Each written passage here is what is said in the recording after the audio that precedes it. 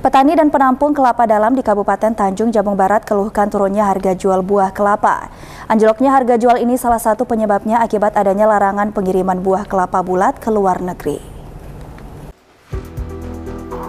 Harga komoditi perkebunan kelapa dalam di Kabupaten Tanjung Jabung Barat merosot tajam.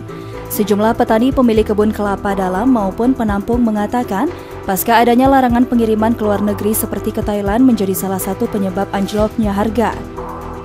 Ibnu Aribi, salah seorang penampung buah kelapa di Tanjung Jabung Barat mengatakan, turunnya harga jual ini terjadi sejak enam bulan terakhir. Sebelumnya harga jual kelapa berada di atas kisaran Rp2.000 hingga Rp3.000 per butir.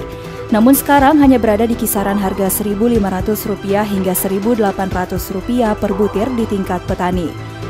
Kondisi ini juga berdampak terhadap harga jual kopra yang menjadi bahan pembuatan minyak goreng sekarang ini turun ya pak? Sebelumnya berapa? Sebelumnya 2000 ke atas masih. 2000. cerita untuk sekarang ini semenjak ekspor turun ekspor dia buka lagi sekarang harga harga kelapa mulai ya turun. Dari 2000 lebih sekarang tinggal 1500 sekarang kita, kita untuk lokal masih pak. Untuk daerah Jambi masih